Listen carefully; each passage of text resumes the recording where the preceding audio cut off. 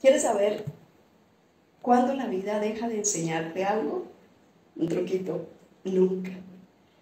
Y tú puedes decir constantemente que son pruebas del de arriba. Y en mi concepto no son pruebas porque la vida no se trata de luchar. Y recuerda que el de arriba no es castigador. Él no es un ser humano que tiene en su mente todo lo que has hecho o has dejado de hacer. Entonces, no hay manera que, que sea ese ser que te esté enviando castigos o pruebas todo el tiempo.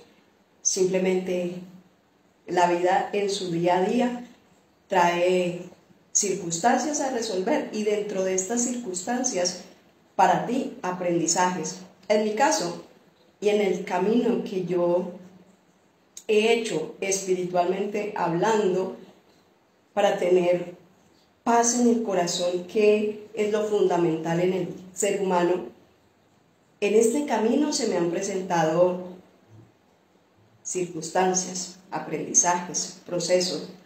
Ahora mismo estoy viviendo uno de esos procesos.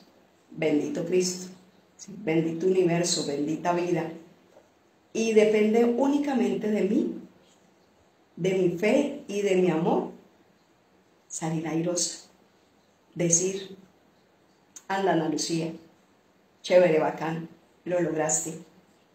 Y sí, pase lo que pase y tómeme el tiempo que me tome, este volver a retomar con mi vida y con mi paz es en el día a día. Y bendito Cristo que puedo lograrlo.